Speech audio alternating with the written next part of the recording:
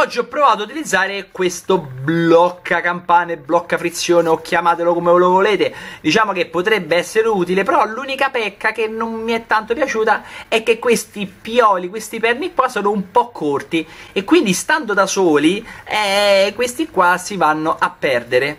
Bisognerebbe svitarli e metterci di perni più lunghi perché l'idea è buona, è carina questa costa pochissimo, cioè costa 20 euro. Ve la linko sotto nelle descrizioni se per caso la volete provare. Per avere questa bisogna essere sempre in due perché serve sempre una mano. Tu mi tieni questa, io svito.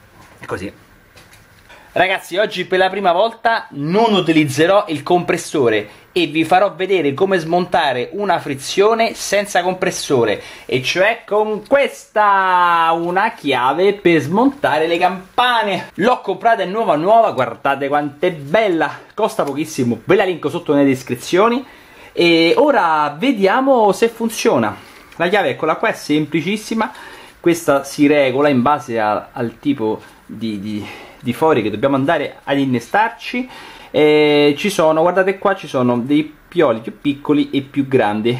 Io mi faccio così si mette così sperando che non esce fuori tutto e poi dovete per bloccare bloccare la, la campana.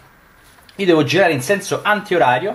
La cosa brutta è che io devo fare tutto con due mani rendetevi conto e l'utilità di avere un compressore. Io adesso l'avevamo già smontata. Invece adesso bisogna fare questa manovra. Metto qui di lato devo controtenere. Allora vediamo così. Vediamo così che se va. Ah, eccolo eccolo eccolo. Ottimo Yeah! Ok ragazzi, possiamo finire qui il video. Come al solito, se non siete iscritti al canale, iscrivetevi. Bene ragazzi, ciao, ci vediamo alla prossima.